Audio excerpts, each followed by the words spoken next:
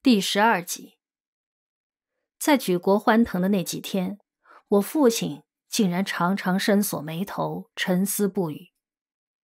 有一天在晚餐桌上，他对几位老友说：“苏俄在停战前五天抢着对日宣战，立刻就越过边界攻入我国满洲里，深入东北境内百余公里，十天内占领哈尔滨、长春、沈阳等城市。”俘虏满洲国傀儡皇帝溥仪。斯大林在八月二十三日宣称满洲国全部解放，完全不顾我国的政治主权。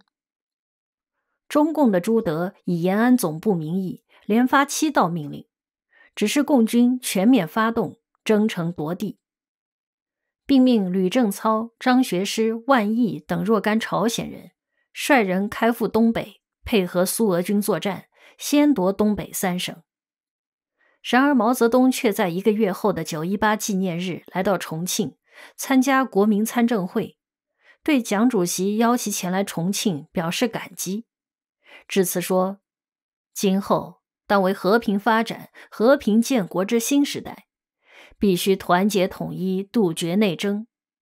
因此，各党派应在国家一定方针之下，蒋主席领导之下。”彻底实行三民主义，以建设现代化之新中国。这是我今生听到的最大谎言之一。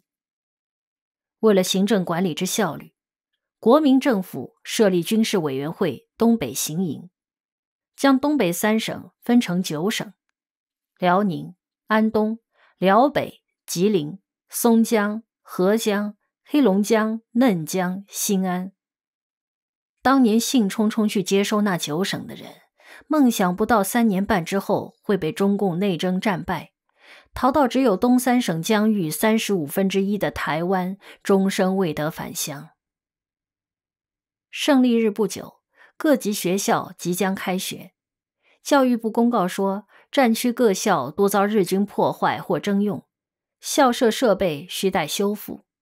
迁至大后方各校，留在迁居地，待明年暑假复员回校。本学年按学历开学，安心上课，详做复校计划。这一年，我哥哥已由政治大学外交系毕业，等待分发驻外使馆工作。最初派往南美乌拉圭大使馆三等秘书。他一直以未能参加什么革命为憾。一年前参加十万青年十万军被阻，耿耿于怀。既然不想去乌拉圭，就去报考中央社做随军记者，要求派往东北战区，与战士同甘共苦，体验作战生活。我大妹宁媛已经小学毕业，上了南开初一，爱打垒球。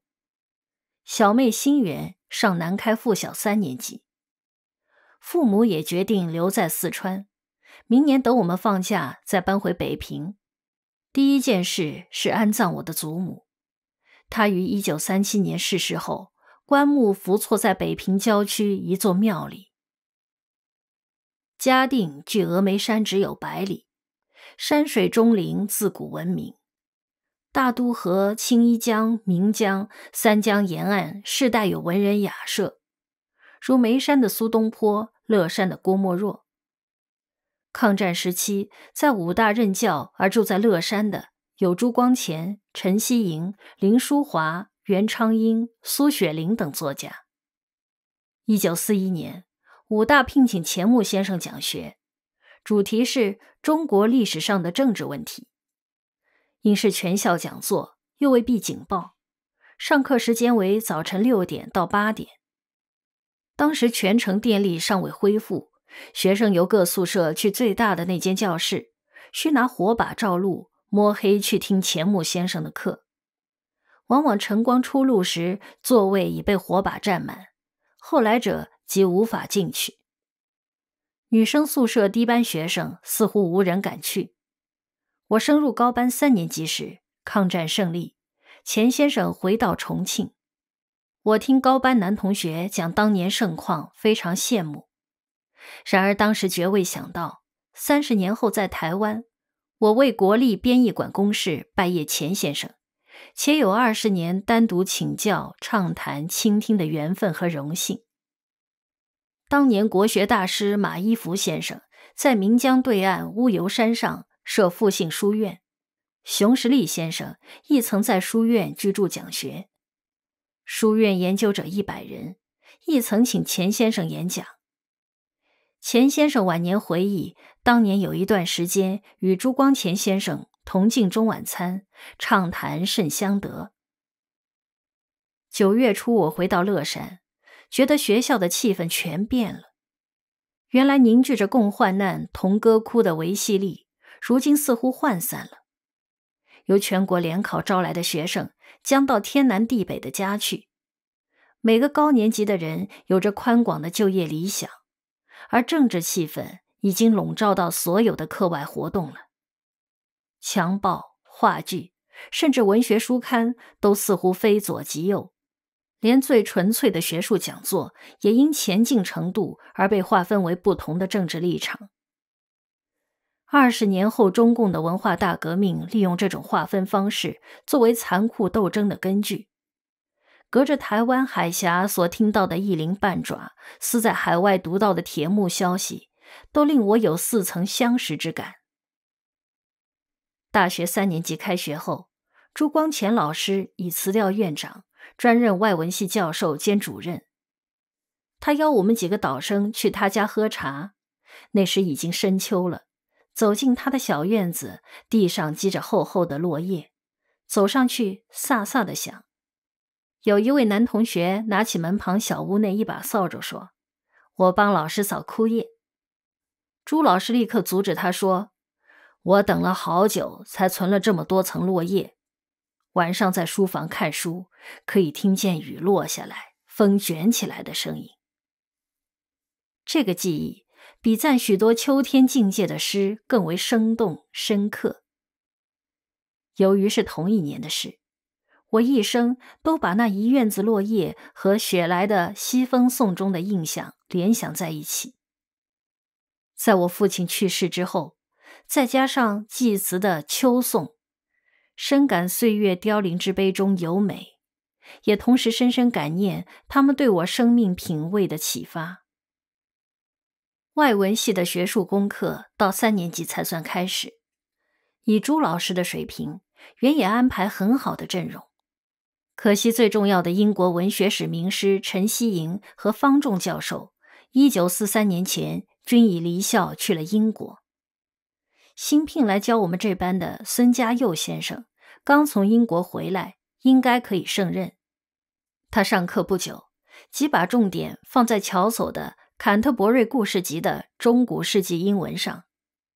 她是位很壮的女子，用浑厚的嗓子念中古英文的原文。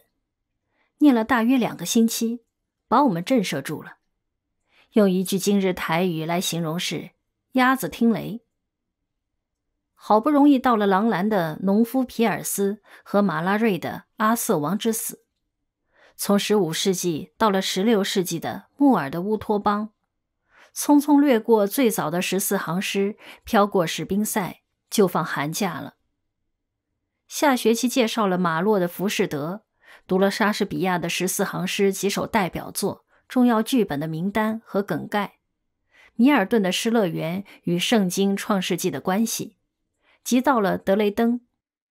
不到三堂课，突然老师请了病假，他和我们再也没有回到英国文学史那门课，然后大家都复员回下江去了。四川人称所有外省人都是下江人。我大学毕业时，主课英国文学史，只修到一七零零年。对德雷登之后二百五十年的无知，是我多年的憾恨。第二次到美国印第安纳大学进修，我用一整年时间苦修英国文学断代史四门课：十五世纪以前、十六七世纪、十八世纪和十九世纪。我自己教英国文学史时。用一切安排，使时间足够教到二十世纪中叶，绝不让我的学生有此憾恨。另外两门课比较稳定。小说课的戴洛林先生是典型的文人学者，他也是时雨朝文艺的定期作家，课程内容充实，分析层次颇高。他讲到狄更斯的《双城记》时，特别教我们注意英国人怎么看法国大革命时的暴民政治。我至今想到书中描写巴黎的家庭主妇坐在广场上，一面织毛衣，一面数着断头台上砍下的人头。把刀斧落下的次数织进他们温暖的毛衣里，仍令我不寒而栗。他结结巴巴地说：“那个英国记者为了爱情上断头台，站在台上居然会看到一个美好的未来世界，简直是不食人间烟火的小说写法。”他是最早教我们由不同角度读小说的老师，他开的书单对我以后阅读也很有帮助。在现代文学课上认识了妙朗山教授，在那几年，他大约是对学生最有魅力的人了。专长是俄国文学，所以几乎全以俄国文学作为现代的代表。他的课很受学生欢迎。抗战国共合作期间，这样的课比任何政治宣传都有用。妙先生身体壮硕，声音洪亮。对俄国文学确有研究，所以授课演讲内容丰富。上课时如上舞台，走过来跑过去，从不踱步，脸上都是表情，开口即是谐语。一男同学形容他是“大珠小珠落铁盘”。他热切地介绍高尔基的母亲肖洛霍夫的《静静的顿河》和伊凡冈察洛夫的《奥普洛莫夫》。此书是一本极精彩的写懒人之书。说到那贵族懒人的仆人，因为太懒，伸出的手掌和鞋底一样脏。妙教授居然把他的破鞋脱下一只，与手掌并列。在他之前和之后，我从未见过那么起劲的教书人。大三开始，我在乐山的生活有了一个很大的变化，有人到女生宿舍给我站岗了。一二年级，我参加的课外活动只有南开校友会和团契，在那小小的圈子里，似乎都知道我已心有所属。在那个尊重感情专一的时代，从未有任何人能邀到我出游。胜利不久，我将由重庆回校上课前，突然收到一封信，寄来一首以我的名字谱曲的创作，作曲者是刚毕业的黄军。他在信中说：“已爱慕我一年多了，看我那不理人的态度，鼓不起勇气去找我。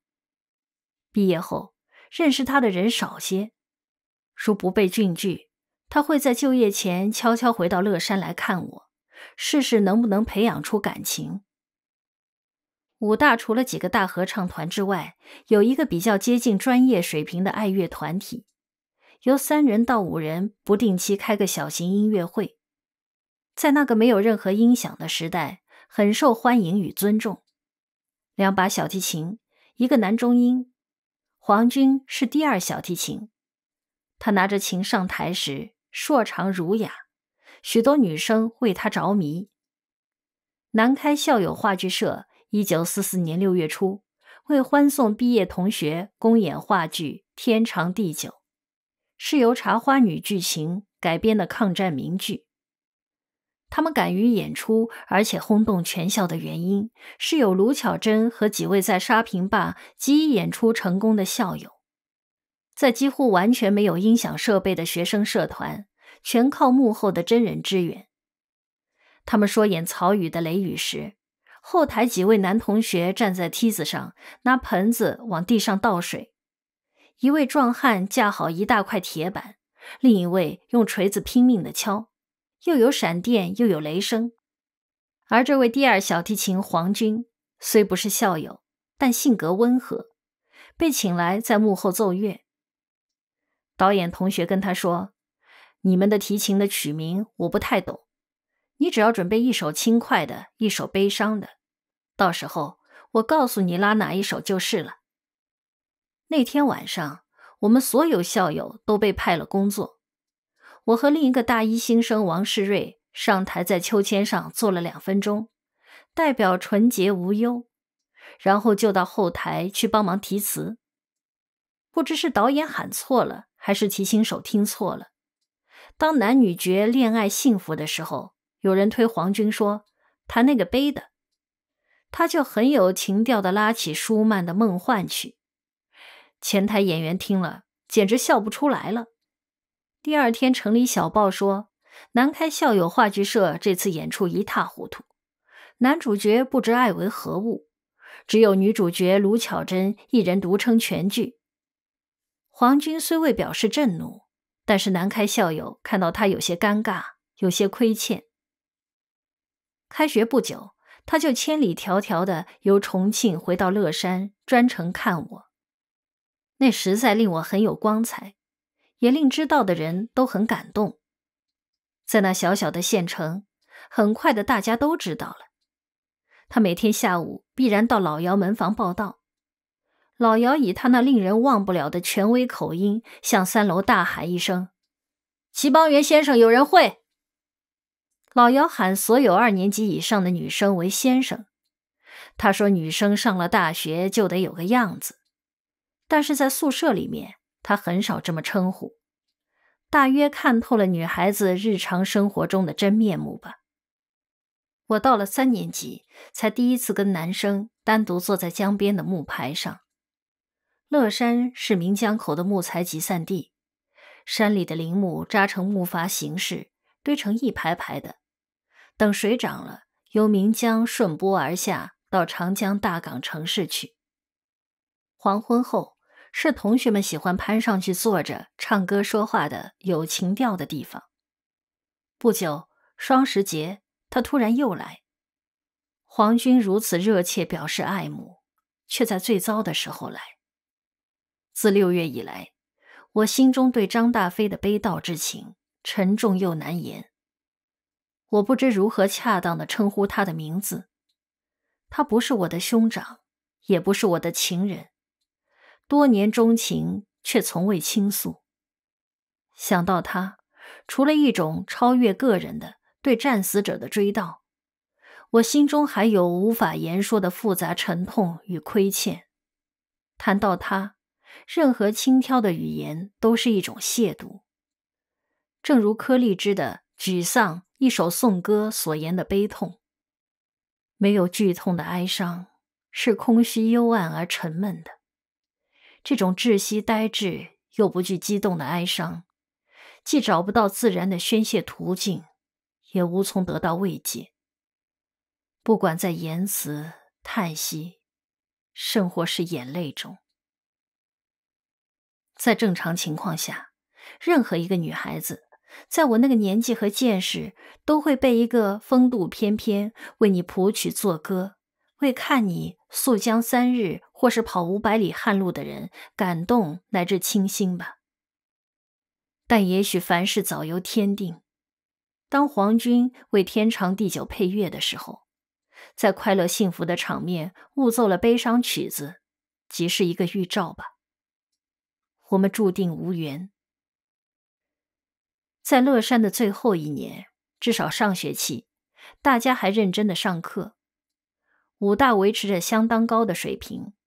以外文系为例，朱老师不仅自己教英诗、现代文学批评和翻译，担任系主任时规划的课程也够强，使前六年的毕业生出了社会，进可攻，退可守。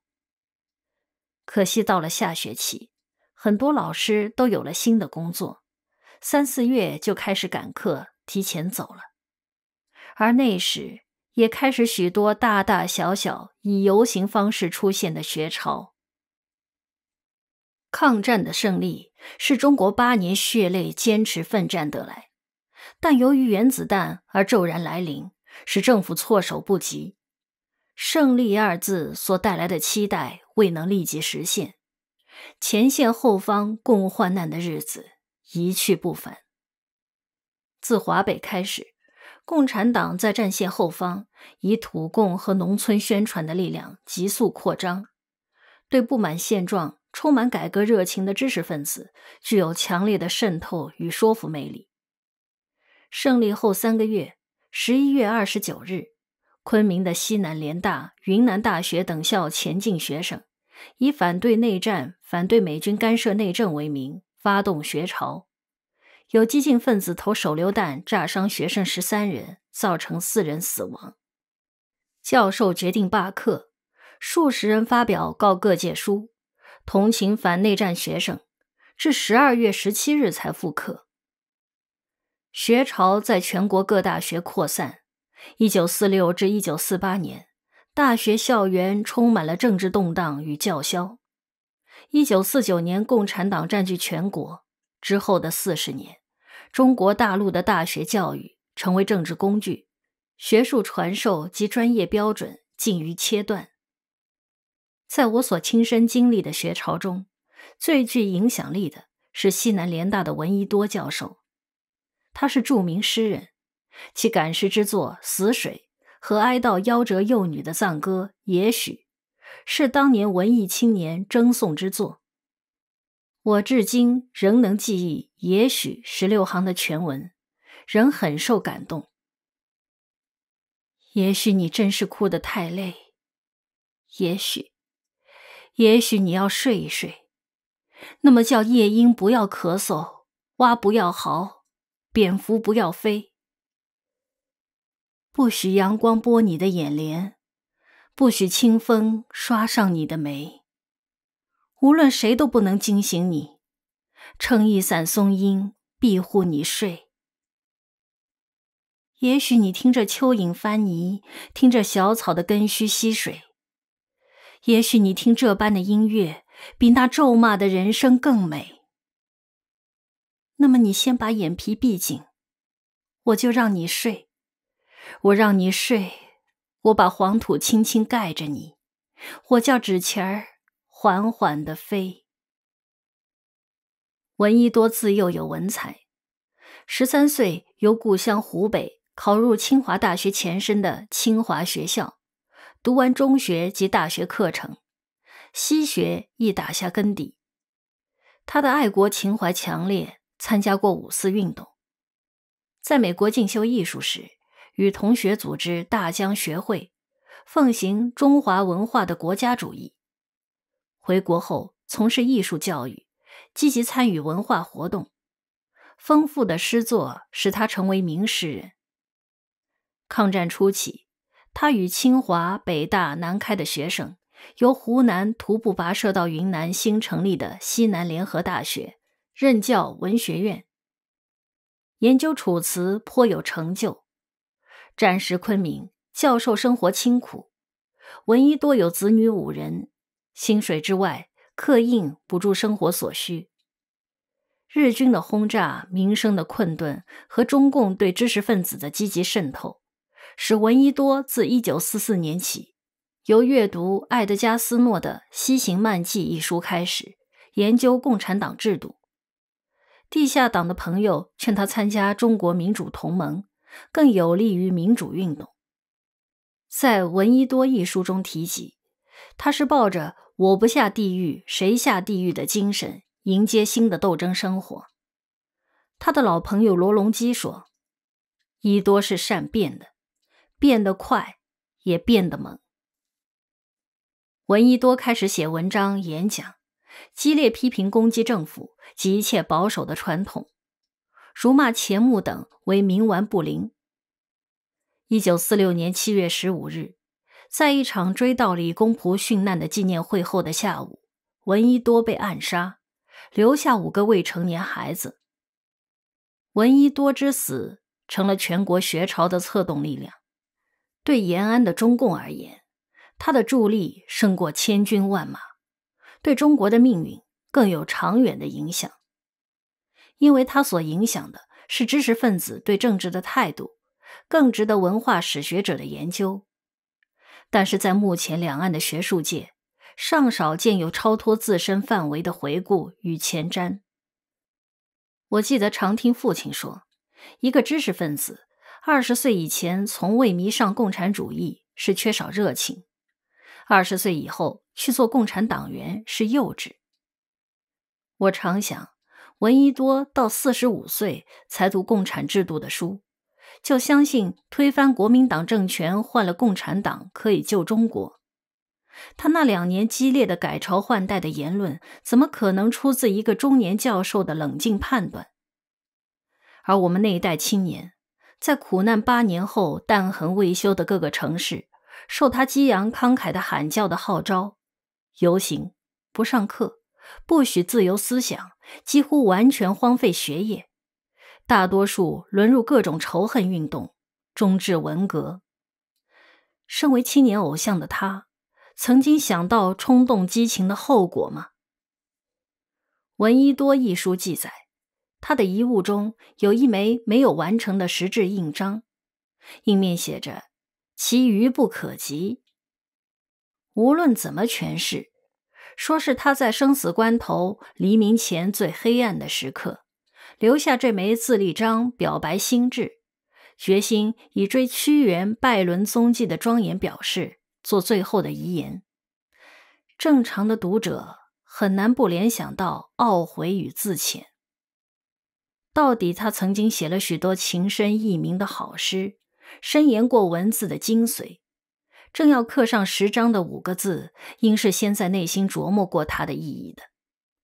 虽然在那狂热的两年中，他未必预见到自己的死亡，并未能给他深爱的国和家换来幸福。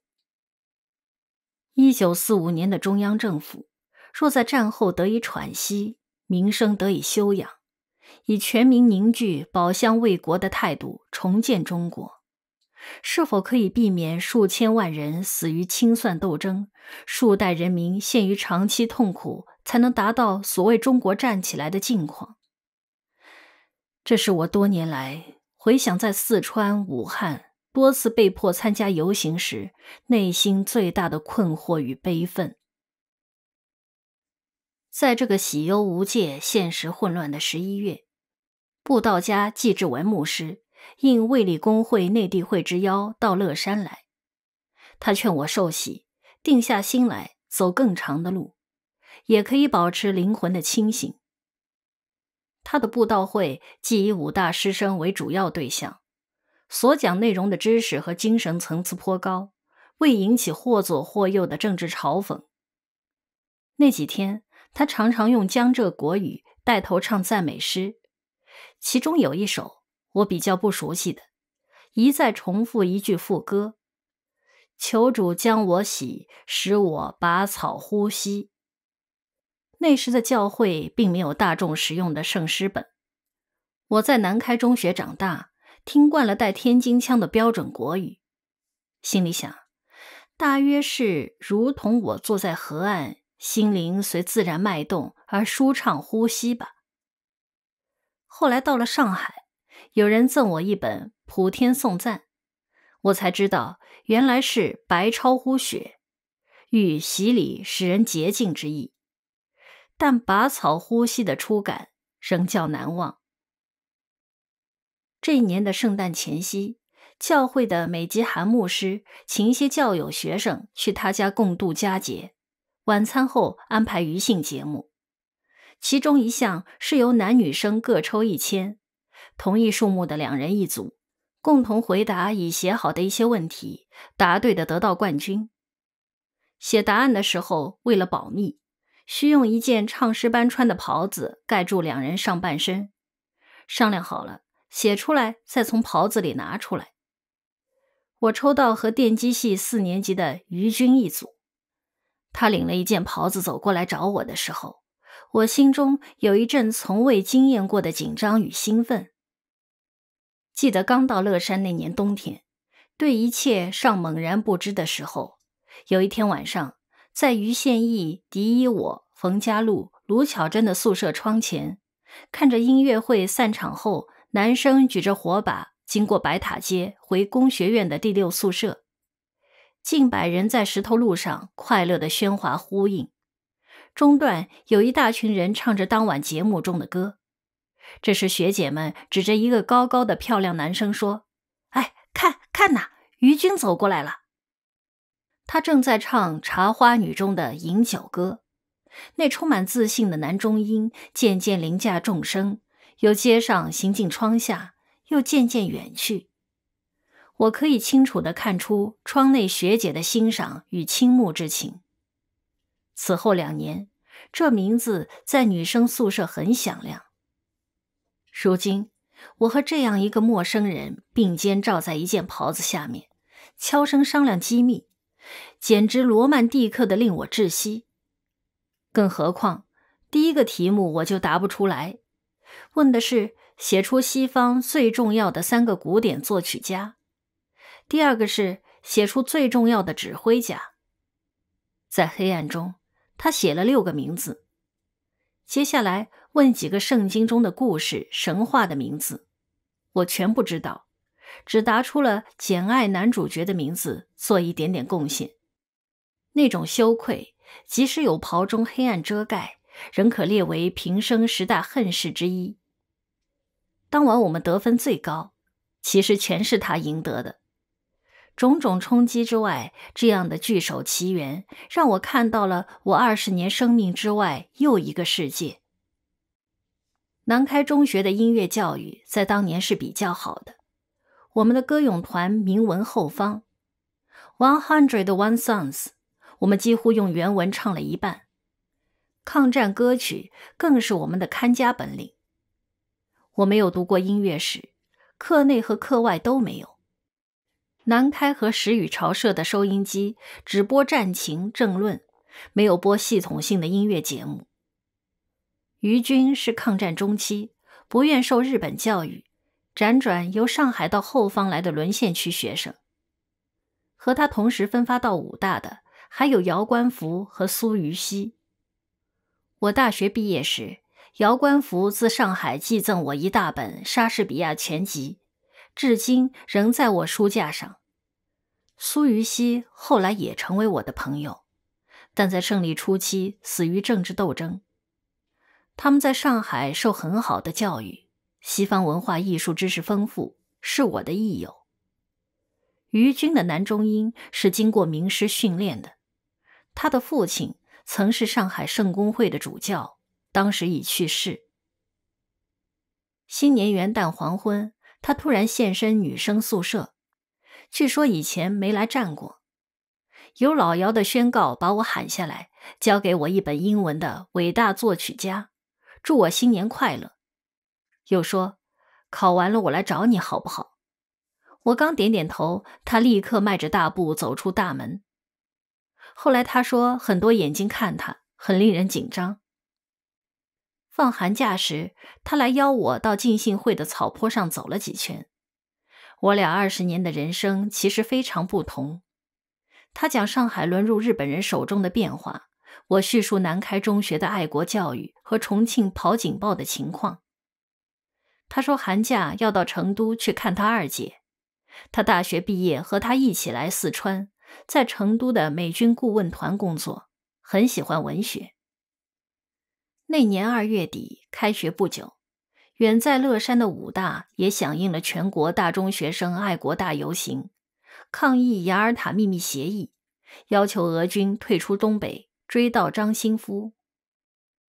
张新夫是工程专家，原为我父东北地下抗日同志，胜利后被派由重庆、由辽宁接收全国最大的抚顺煤矿。